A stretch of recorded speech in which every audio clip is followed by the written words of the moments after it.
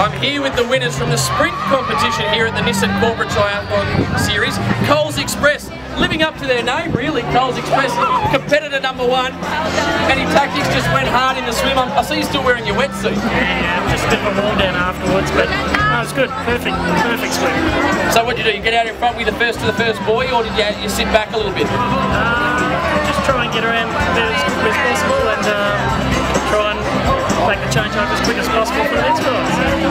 chat about the bike course. We heard a bit about the headwind. Did it cause you any grief whatsoever? Oh no, it's pretty good out there, so I uh, just went as hard as I could and just kept going. And these guys did a brilliant job, really. So uh, I just had to hold station, really. So I think these guys had V-Power on their cornflakes this morning, so it was awesome. Jeez, we're getting all sorts of sponsors. you can tell, you can tell this is a this is a corporate triathlon. The plugs are everywhere. Okay, now to the runner.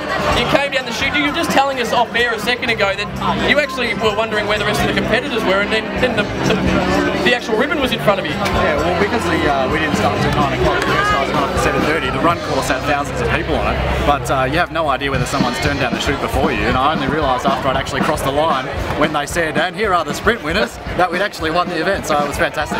Well, well done, guys. I'm eating flies down here at the finish. no, that's going to get my uh, fibre up for the day, so don't worry about that. Coles Express winners 2013 sprint event at the Nissan Corporate, powered by V-Power, thank you very much, at the Nissan Corporate Triathlon Series.